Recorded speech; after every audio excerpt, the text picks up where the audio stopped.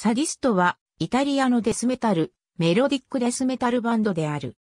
1990年代前半にデスメタルにメロディを取り入れ、メロディックデスメタルの形成に関わった。その関係でメロディックデスメタルにカテゴライズされることが多い。また、プログレッシブデスメタルにカテゴライズされることも多い。1991年にイタリアのデスメタルバンド、ネクロデスのドラマー、ペソを中心に結成。この時のラインナップは、ペソ、ファビオ、トミー・タラマンカ、アンディ・マルチーニであった。同年中にデモシングル、ブラック・スクリームズをリリース。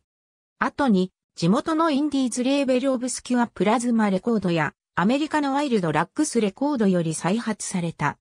ワイルドラックスレコードの再発版は、3曲を追加したカセットテープフォーマットの EP であった。1992年にファビオが脱退し、ボーカルはアンディ・マルチーニが兼任することになった。1993年にノスフェラトゥレコードからファーストアルバムアバブ・ザ・ライトをリリースしデビューする。同アルバムはデスメタルを基礎にクラシカルなメロディを導入し、メロディックデスメタル黎明期の名盤とされる。同年9月にアンディ・マルチーニが脱退する。代わって、ザンナとチコが加入する。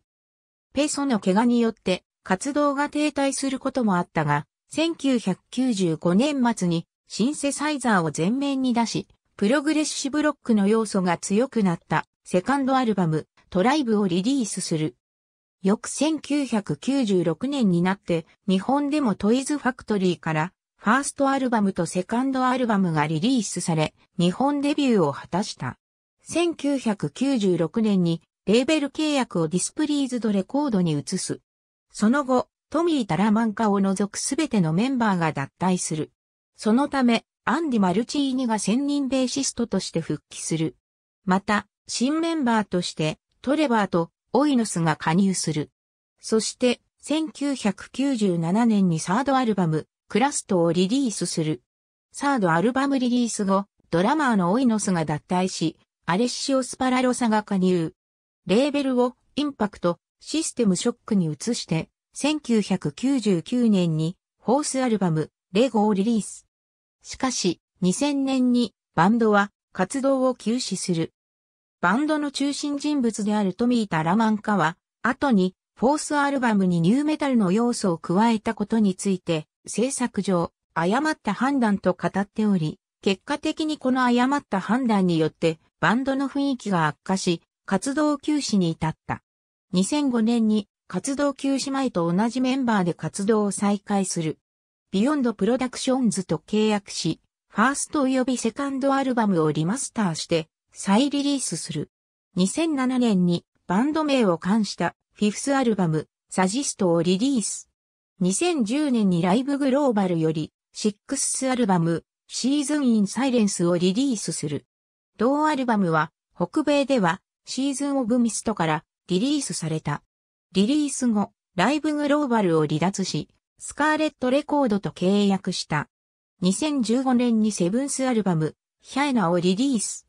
日本では、アバロンレーベルからリリースされ、フォースアルバム以来3枚ぶり、実に16年ぶりに日本版がリリースされた。2018年にエースアルバム、スペルバウンドをリリース。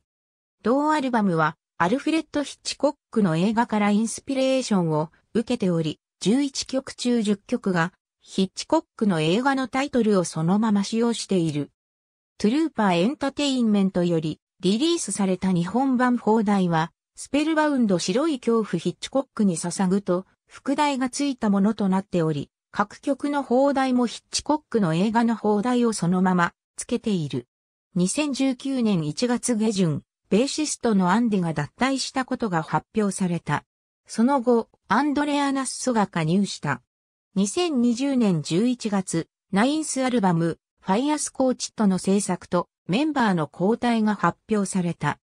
前年に加入したアンドレア・ナッソはアルバムに参加することなく脱退し、オブスキュラやペスティレンスの活動で知られるヨルン、パウル・テセリンが加入した。さらに1997年から活動休止期間を挟んで23年間在籍したアレッシオ・スパラロサもバンドを離れ、元ネクロファジストのロマン・グーロンに交代している。ありがとうございます。